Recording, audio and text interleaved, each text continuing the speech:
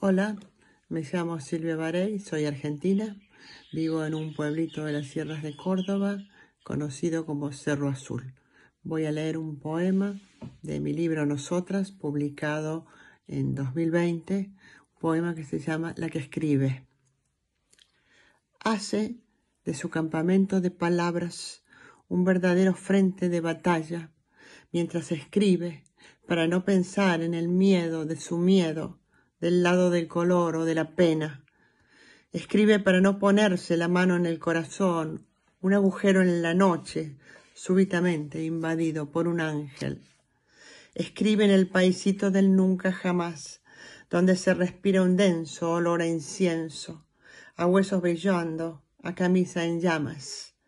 Un paisito donde la nombran Alejandra. Y avisora la victoria lejana, un ancla en lo visible, a la luz de una lamparilla que derrama sobre la página una gota de sangre clara. De mi libro Sangre Acompasada, publicado el año pasado, leo el primer poema. El padre de mi padre se coloca un delantal de lona percudida, se inclina sobre la mesa, se saca una tachuela de la boca, toma una lesna, un martillo minúsculo y arregla un zapato.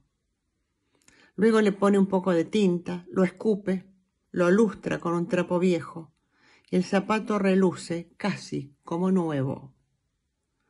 Cuando vengan a buscarlo, ganará cinco pesos. Suficiente para el pan de hoy, suficiente para ir con la cabeza en alto.